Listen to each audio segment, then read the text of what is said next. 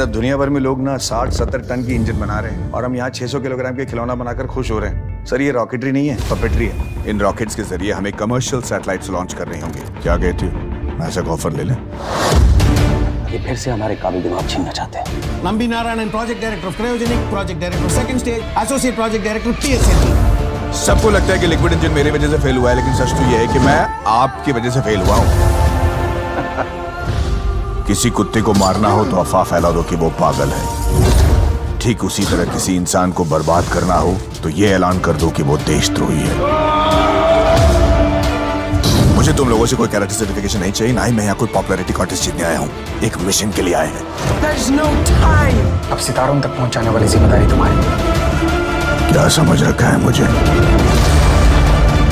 मैं एक rocket scientist हूँ।